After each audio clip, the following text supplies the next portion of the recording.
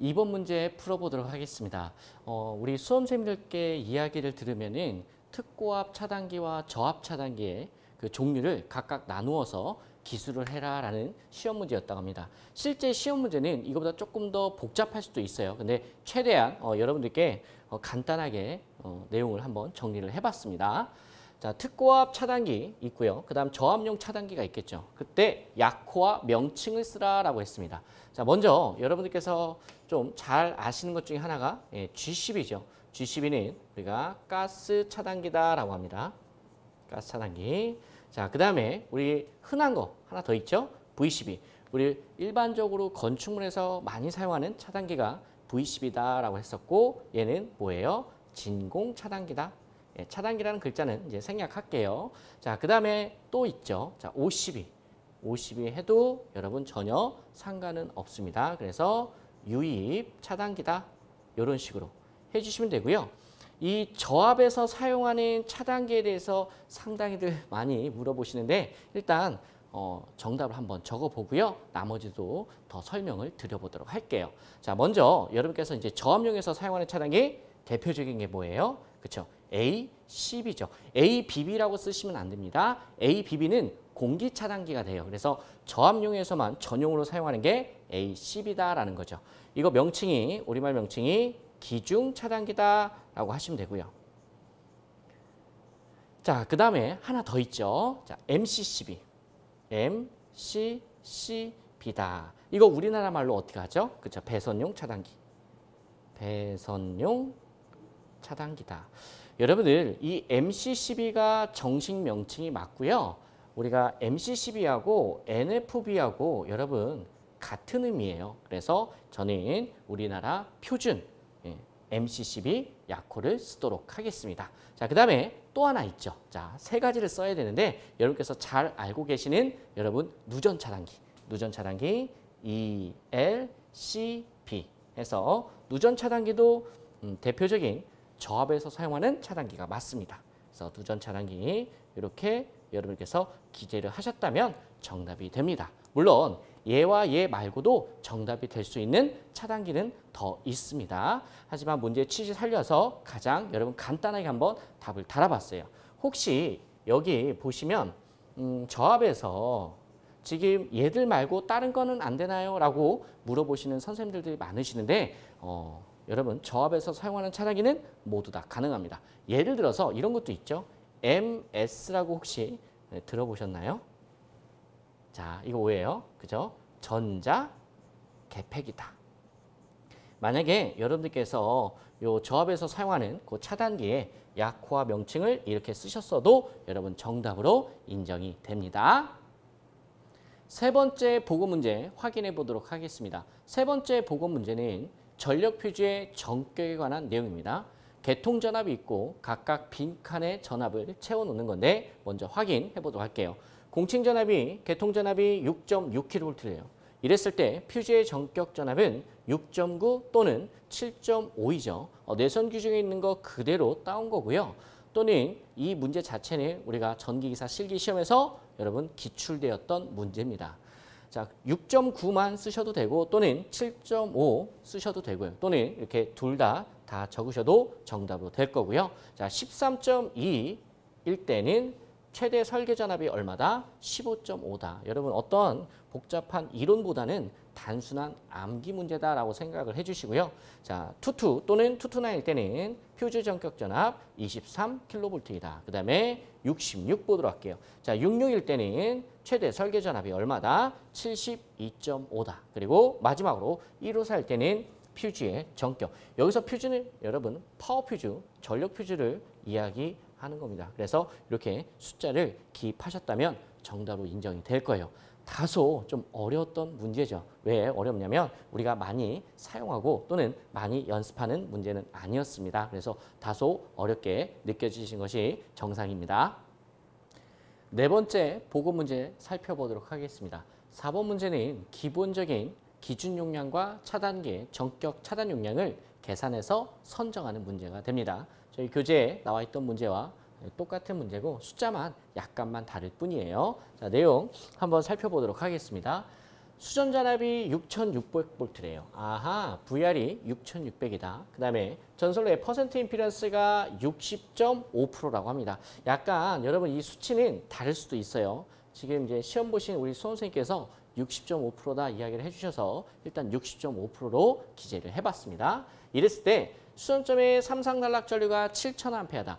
실질적으로 단락 전류가 기지값이에요. 단락 전류를 구하라는 게 아니라 단락 전류 IS는 얼마다? 7,000A다라는 거고요. 자, 이랬을 때 두 가지를 물어보는 거예요. 첫 번째 기준 용량과 자, 그 다음에 차단기의 차단 용량을 물어봅니다. 자, 그러면은 이 내용을 간단하게 한번 정리를 해보면 자, 송전단이 있을 거다. 그리고 선로가 있을 거예요.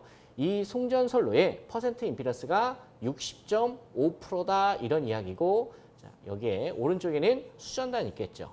근데 수전점에서 이렇게 단락 사고가 발생했다 이런 이야기예요. 그럼 단락 전류가 흐를 텐데 그 단락 전류가 몇 암페어 흐른다? 7천 암페어가 흐른다 이런 이야기겠죠.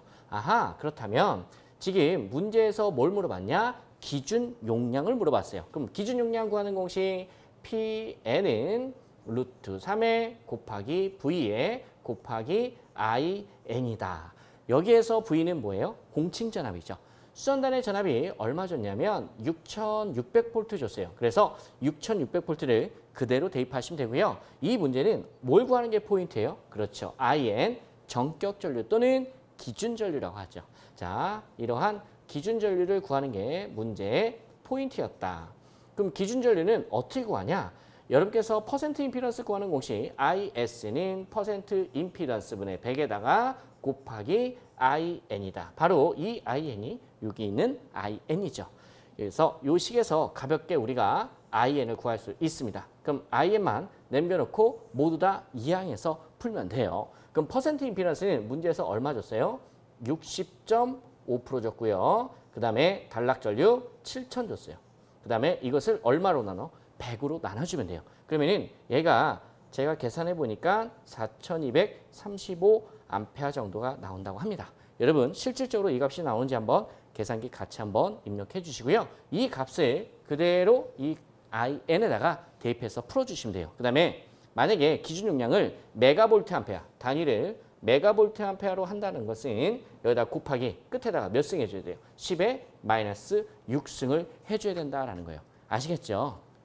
그러면은 기준 용량을 실질적으로 계산하면 48.41 메가볼트 암페아가 나온다고 합니다. 제가 계산기 바르게 입력했는지 여러분 같이 한번 확인해 주세요. 자, 그러면은 48.41 양가로 1번 문제가 풀렸고 자, 양가로 2번 접근해 보도록 할게요. 양가로 2번은 차단 용량을 구하라 라는 즉 차단기의 차단 용량을 구해서 이 표에서 마지막에 선정해 주세요라는 간단한 계산 문제예요. 문제 푸는 방법은 아주 다양합니다. 한번 풀어보도록 할게요. 단락 용량 PS는 루트 3에 곱하기 V 곱하기 IS 이 공식 위에서 풀 수 있죠. 그러면 한번 풀어볼게요. 그럼 루트 3에다가 여기서 V는 공칭전압이죠. 공칭전압 문제에서 6600V 줬고요. 단락전류 7000A 줬습니다. 그 다음에 메가볼트 암페어로 해주기 위해서 10에 마이너스 6승을 할게요. 그러면 이 값이 대략 얼마 나오냐? 80.02 메가볼트 암페어가 나옵니다. 그러면은 아, 요 계산값을 기준으로 해서 요 표에서 차단기 용량을 선정하시면 되는데 어, 얘보다 큰 거. 그래서 100 메가볼트 암페어를 선정하면 정답이 되겠죠. 이렇게 푸셔도 되고 이렇게 푸셔도 되죠.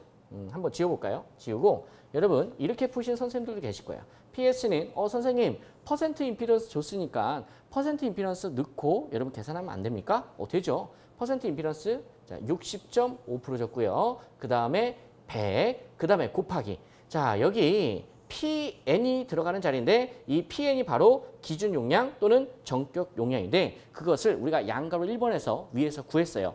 그 구한 값이 얼마였냐? 48.41 메가볼트 암페어가 어, 나왔었어요. 그래서 그대로 이 숫자를 대입해서 푸셔도 80.02가 나오는 게 정상이겠죠.